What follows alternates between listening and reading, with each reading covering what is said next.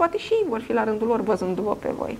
Mergem acum, iată, la rac sau cei cu ascendentul în rac, Venus se duce în casa 6 și o să aveți un drag, un drag de muncă, așa cum n-ați mai avut de mult timp. Și atenție, nu mă refer doar la locul de muncă, ci mă refer și la treburile gospodărești. Că poate cineva din familie are nevoie de ajutor să pună murături, să facă, nu știu, curățenie, să aranjeze grădina, să facă, poate, cumpărături. Vă oferiți. Da? Și voi iubiți să fiți harnici. Îmi și imaginez cum majoritatea racilor vor avea șorțul acela de bucătărie sau vor face curățenie și vor, se vor ocupa de lucrurile astea lumești și vă veți simți foarte bine. Mergem acum, iată, la leu sau cei cu ascendentul în leu. A, Venus se duce în casa 5 -a. Romantismul la puterea infinită.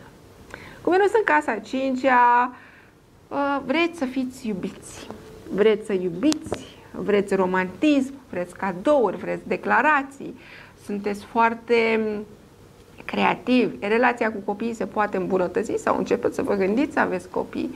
Uh, găsiți tot felul de momente din acestea în care să, să, să profitați de tot ce vă oferă viața. Un strugure, da? o prăjitură, da? un cocktail delicios pe care nu l-ați mai gustat de foarte mult timp. Nu recomandăm consumul irresponsabil de alcool, da? Dar trebuie să faceți weekendul ăsta efectiv, o să, o să spun de fapt un lucru, trebuie să fiți foarte egoiști.